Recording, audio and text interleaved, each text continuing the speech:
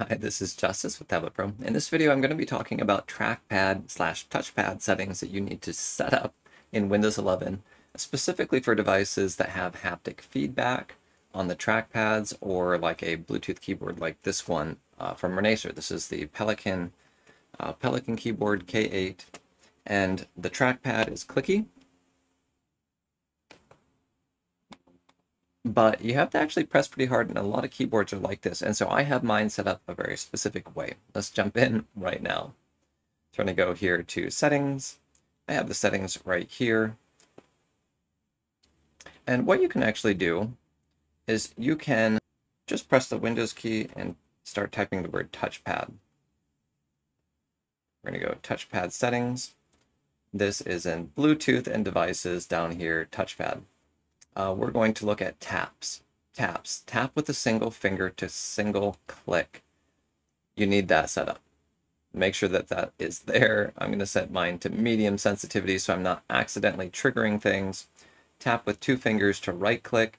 If you are scrolling with two fingers on your trackpad and accidentally clicking, uh, sending a right click, you can disable this. This is not a bad idea to do. And then the one that I think is most important is tap twice and drag to multi-select. This is very important because if you open up something here, you want to drag something.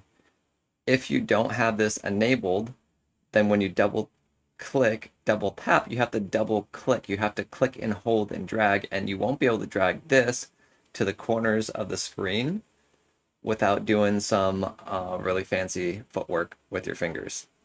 So, and I, I'm not going to say it differently than that. All right, those are the two settings that you need to have set up. I think this is a very um, non-understood aspect to Windows that makes a huge difference in how comfortable it is to use the trackpad. Uh, if you don't have a mouse, this is very difficult with these settings turned off. Now I have a couple extra settings here that I'm going to show you. So I'm going to click on Advanced Gestures. And what I want you to see here, Shift, Win, uh, left Windows, and Z. So when I do a three finger tap, what that does is that brings up the Tablet Pro Artist Pad for me. That is Shift, Windows key, and Z. If you have the pen tool and the Tablet Pro Touch software installed, this will bring up this little pad on the side, which is a godsend. So here, if I click on these buttons, you can see I have a lot of different options, modifiers, um, Windows, uh, dictation, copy, paste, delete, all that type of stuff. And it's customizable. All right, the next thing here, Shift, left Windows, just Windows, and A. So if I tap here, four fingers, that is going to switch the size of the artist pad. This is very useful for me specifically. Swipe up, I have this set to show this.